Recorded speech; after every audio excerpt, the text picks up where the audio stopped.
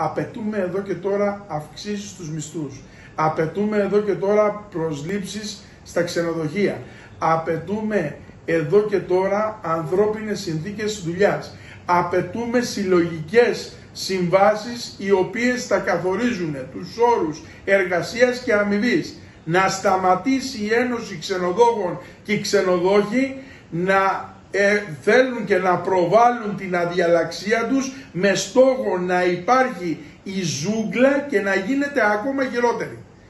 Θέλουν ζούγκλα, θέλουν αίμα οι κύριοι της Ένωσης Ξενοδόχων, γι' αυτό και είναι αδιάλακτοι. Εμείς τους καλούμε την Παρασκευή να είναι εδώ στο τραπέζι των διαπραγματεύσεων, να κουβεντιάσουμε για αυξήσεις στους μισθούς και για κανόνες ανθρώπινης εργασίας. Να σταματήσουν τις υπεκφυγές εδώ και τώρα.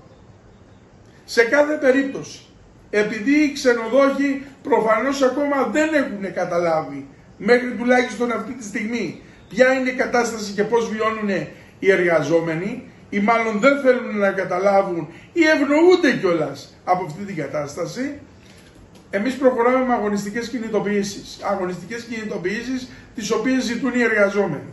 Έτσι λοιπόν, Τετάρτη και Πέμπτη προκυρήσουμε 48 ώρια απεργία για τα ξενοδοχεία που εδρεύουν στα όρια της Δημοτικής Ενότητας Κερκυραίων του Δήμου Κεντρικής Κέρκυρας. Και Παρασκευή Σάββατο 48 ώρια απεργία στα ξενοδοχεία που εδρεύουν στα όρια της Δημοτικής Ενότητας Μελιτιαίων του Δήμου Νότιας Κέρκυρας. Συνεχίζουμε τους αγώνες αποφασιστικά.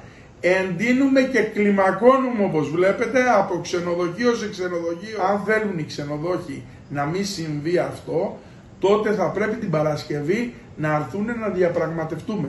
Και όταν λέμε διαπραγμάτευση, εννοούμε διαπραγμάτευση. Δεν εννοούμε να επιβάλλει κανένας στον άλλον την άποψή του. Μιλάμε για διαπραγμάτευση και αυτό το έχουμε κάνει σαφές. Αλλά πρέπει να έρθουν εδώ να διαπραγματευτούμε. Αν πραγματικά θέλουν όρημα και πολιτισμένα να βγάλουμε τη σεζόν την οποία ε, έχει έρθει, βρίσκεται μπροστά μας, είναι σε εξέλιξη και είναι μπροστά μας ακόμα και η υπόλοιπη μισή.